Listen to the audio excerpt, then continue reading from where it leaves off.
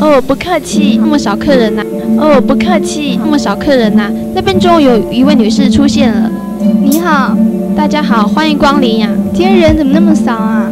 不好意思，你假装没有看见就好了嘛。哦，你耳朵怎么那么长呢？大家都叫我长耳朵姑比呀。原来是这样子的啊！对呀、我向你敬礼，谢谢你来这边吃早餐啊客。气，拜拜。大家好，头怎么那么长啊？没办法，这是我天生的，你不能怪我嘛。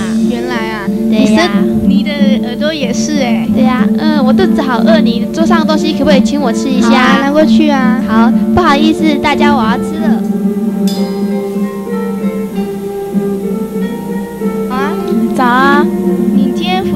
漂亮哦。那当然喽，我的生意越来越好啦，接待客人总要有点嗯很好的方法嘛。哦，原来是这样子的啊，那辛苦你了。不会的，我的生意越来越好啦，接待客人总要有点嗯很好的方法嘛。哦，原来是这样子的啊，那辛苦你了。不会的，拜拜。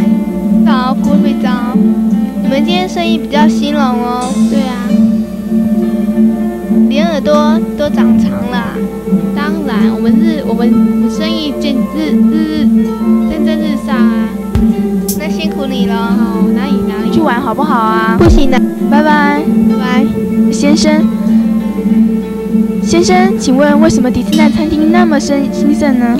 因为啊，他们服务员对我们的态度都很好，而且都很努力啊，所以餐厅才会那么兴盛。哎呀，这样也要访问人家？问一下这位对夫妇。努力就成功。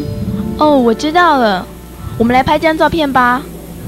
哎哎呀这样哎呀，小的不是这个意思啦，大的只是四肢发达，最重要是要靠头脑，懂了吗？懂了。